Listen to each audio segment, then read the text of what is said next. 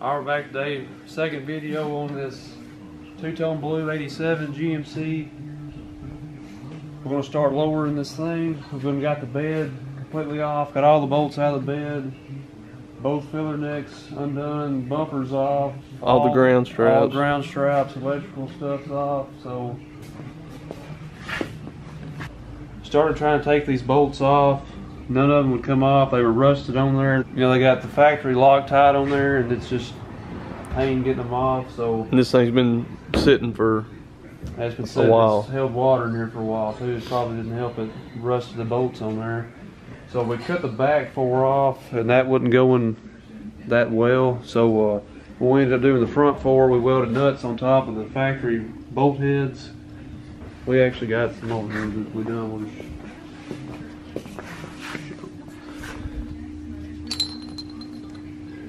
Like this here is one we cut off and then end up going back to welding the nut on, held them from the top, and they finally came off. As you can see all the Loctite that was on there that's I looked to me like it don't have enough on it, but probably didn't have enough on it, you know, that's why it didn't come off. yeah, so So anyway, uh, we'll get the forklift around front here and get this bed off and then get the truck over there and get everything washed and then start lowering it.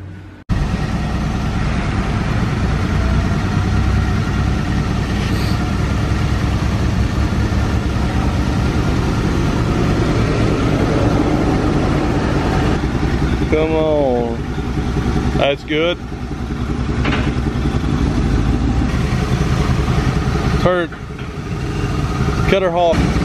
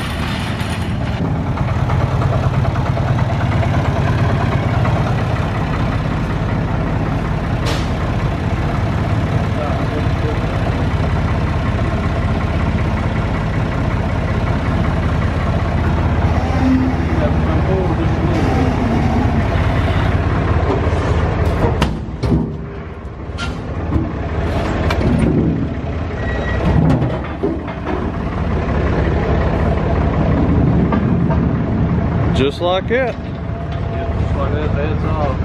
So Bed's off. we're gonna get the truck over now and uh, wash the frame and everything off of it.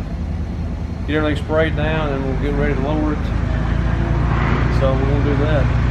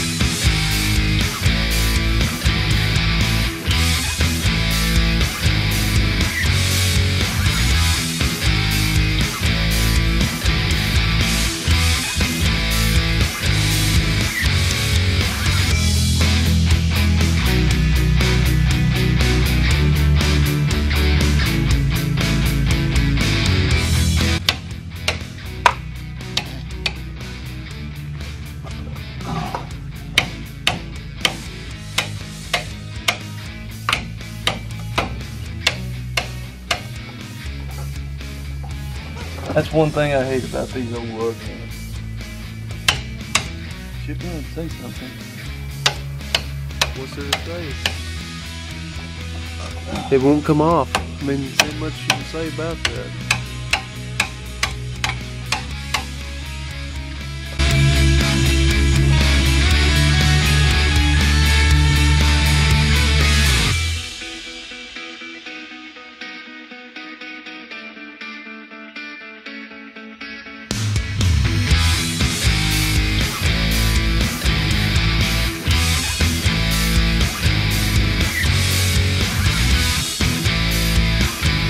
We got the frame washed and it looks pretty good actually in my opinion for it being sitting for so long there's still actually paint on it so Yeah.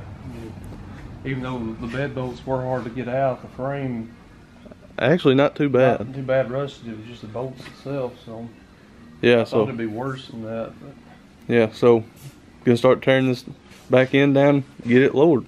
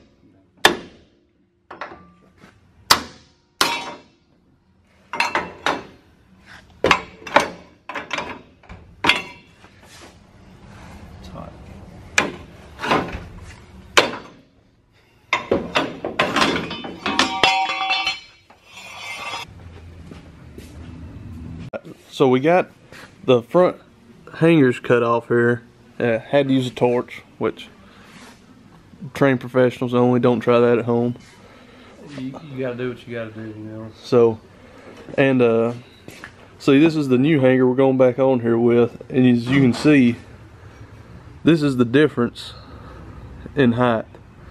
So, this is a three inch. Is that Three right? inch th- uh, straight edge, I believe. Yeah, three inch street edge front hanger. So you can see the height difference there from bolt hole to bolt hole. So What it does, it just takes the leaf spring, moves it up higher, and turns, drops the truck lower. And so yeah, so we'll be doing that. Put a two inch drop shackle on here, and then that'll from there. that'll be the back. So Yep. Seen our other video we done on our uh, black 84 GMC. We used a two inch Belltech spring hanger. This is a three inch. So And actually, we had to end up pulling the overload out on R84. So yeah, we went we went a two inch uh, spring hanger, two inch drop shackle, and pulled the overload out of it, and we're doing a three inch spring hanger, two inch drop shackle, and trying to leave the overload in this one. So we'll So- go from there, see how it's setting, and then go from there. Here's the part number for these spring hanger drops in case anybody's interested in them for their truck. So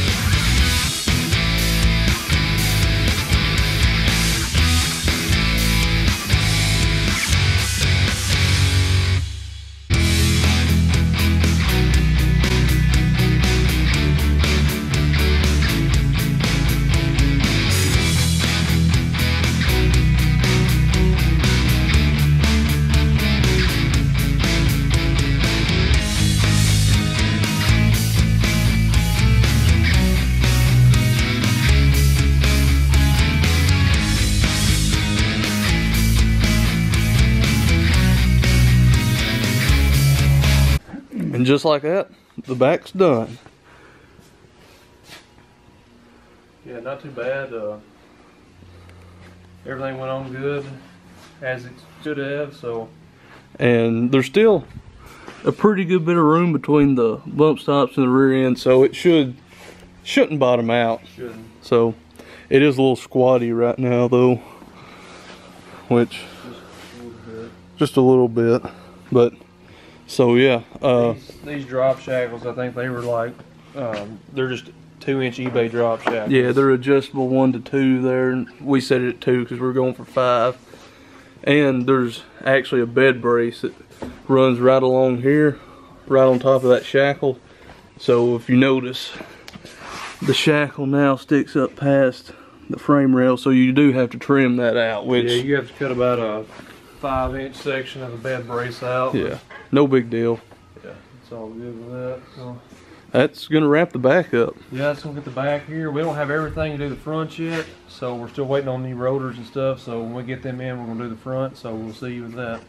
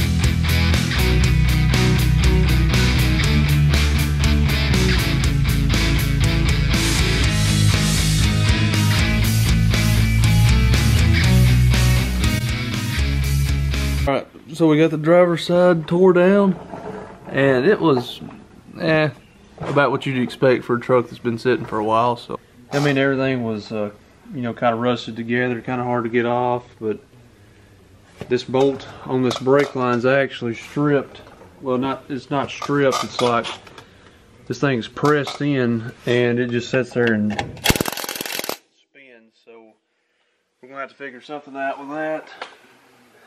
And I mean, other than that, I don't know. It's those cotter pins are kind of hard to get out, which is like that on all of them. Just and then they had a bunch of like dirt packed in there around them and stuff. So once we got them off, it wasn't that bad. But something else about these rotors, though, they have uh, been on this truck for a minute. You know that you got the drilled and slotted rotors. These kind of, you know, they self-slotted themselves. They, yeah, they slotted themselves. So, Uh, you know, they're not supposed to look like that. If you didn't know that. uh, yeah, But what we think the the pads were so old on there, and the pins on the pads done that. So, so we suspect done it. So, anyway, this side is kind of a pain to get off, but uh, got the shock off too. Well, got the caliper off, rotor off, um, took the tie rod off, got the uh, got finally got the cotter pins out of the two nuts, got them loose, got them knocked off and loose, and then took the spindle off, took the shock off, and then we'll get all this stuff painted and then go from there. so we're back and we got the truck completely taped off, and we went ahead and sprayed a quick coat on the radiator support, see what it's gonna look like, and I think it looks pretty good. For uh, paint coming out of a can, you know, you can't beat that. Yeah. So. But we got This the is not a typical just average spray paint either. So. Yeah, but uh, we got the inner fenders and all the front suspension tore apart, taped up. We're gonna paint the sides of the frame rails and all that too while we're here. Got the back of the cab all taped up. So uh, yeah, Add a little bit under the cab, and we'll spray a little bit of that, and uh, we're gonna do the paint the frame, and then. So we're gonna get the frame painted, and then go back and put the front suspension back on, which the drop spindles and the uh, new rotors, and then we're gonna paint the dust covers and the brake calipers. So everything will be all nice and fresh yeah, don't any overspray on any of it. It'll be all clean. And then, so with that said, I guess we're gonna get this frame painted, and we'll see you then.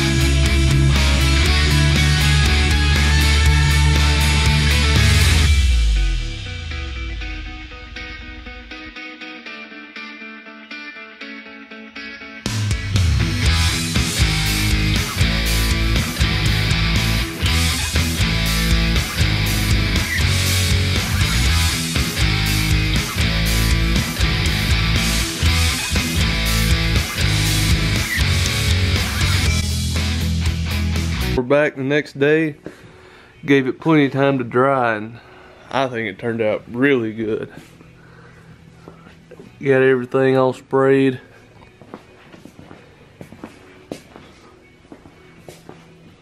We are gonna have to go back and touch up where the jack stands were, but other than that, frame's painted.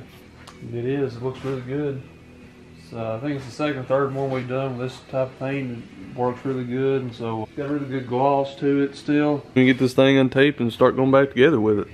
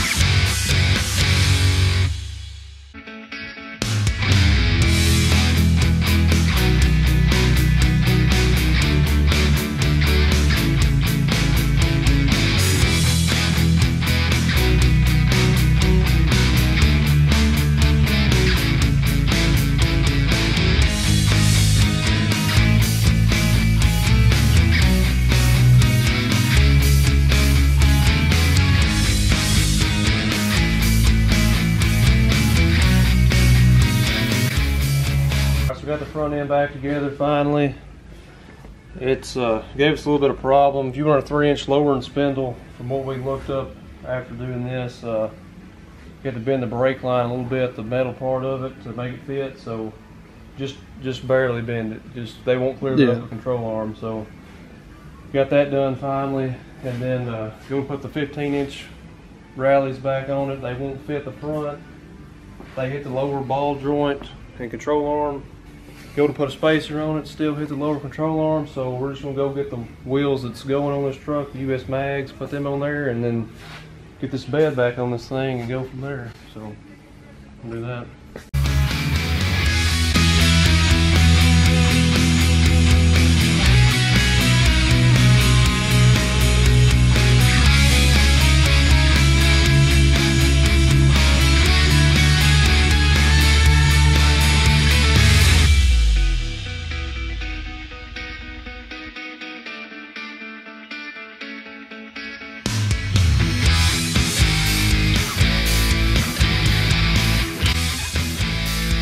Back on the ground on the 20s, and I think it looks really good. I think it turned out good for well So far anyways. point, yeah. Still get the bed on it. Have a little weight in the back of it. Yeah, but those US Mag bullets looking good. Got a good dish on the back For a 10 wide. for a 10 wide. This is a 10 wide wheel, and I mean it's still got some meats, you know. But yeah, Yeah, we'll get the bed braces cut on there and uh, get this thing out, set the bed back on it, and we'll be back to look at it again. So.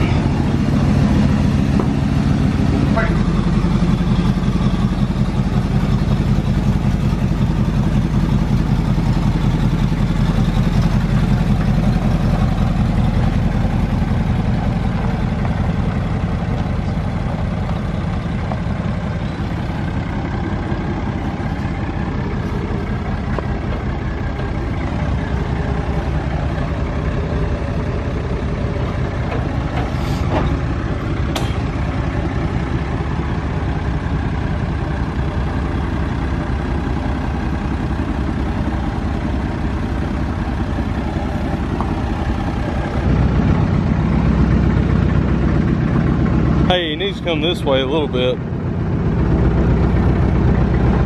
Come this way, son.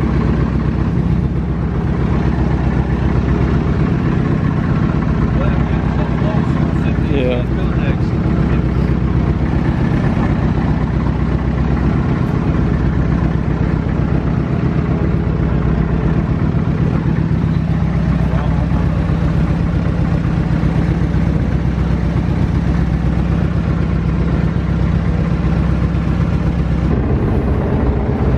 But we can get it set down and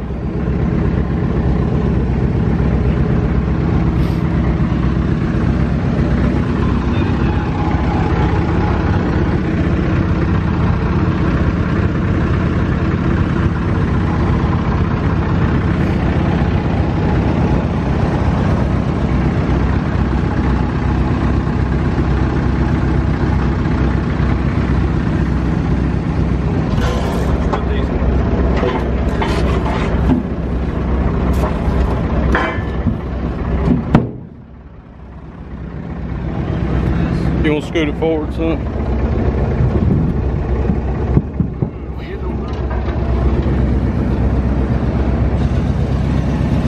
So you seen that last clip there? We got the bed set on here, and you know we got to looking at it, and it was just Way too high in the rear still. yeah, way too high. It needed an inch or so, at least an inch and a half more out of the back, which we done a five on the back with a three inch spring hanger, two inch drop shackle, so it just wasn't enough for this truck. So we went back that next evening night, uh, took the overload spring out of it. That did help it a lot. It gave us about right at an inch. Yeah, So so uh, it's doable now. I mean, obviously, I'd rather it be, you know, I'd a lot lower. I'd rather put a four six on this, but three But- five. It's we was really going for more of a good ride quality than a real low stance for this one. it'll work. It'll be all right. So we've got that done. It's setting how we want it for now, and so uh, what we're gonna do next. This will just lead into the next video. Of this we're gonna prep all this rust on here to get it ready to clear. Then we're gonna come in tomorrow morning and clear this truck, spot the blue in on it on both sides, and then uh, yeah, get it cleared and hopefully get it back to the shop. and We'll start putting it back together. Yeah, get ready for final assembly on So, everything. We're gonna have this truck done in two weeks from now. I know when it comes out, it probably already yeah, that. so we got two weeks to get this truck done and another truck. and another truck. You So- see also. So, Yeah, be looking for a couple more videos on, well, another video on this one and a whole nother series. All right, I guess we'll. And if we didn't mention it earlier, these are US Mag bullets, you know, with the machine barrel and part of the face. And, So it's Gray. got a gray face to it. Yeah. The rest of it's kind of a machine. and I really think they fit this truck well. This that being up. said, it's gonna wrap this video up of lowering it, putting the wheels and tires on it, and uh, you know, our next video on it, we're gonna be clearing it, putting it back together, getting the inside, Yeah, getting all the inside back together in it, and then uh, do that and have this thing done. it should be pretty close. Yep. So. So that's gonna do it for this one. Appreciate you watching. We'll see you in the next one.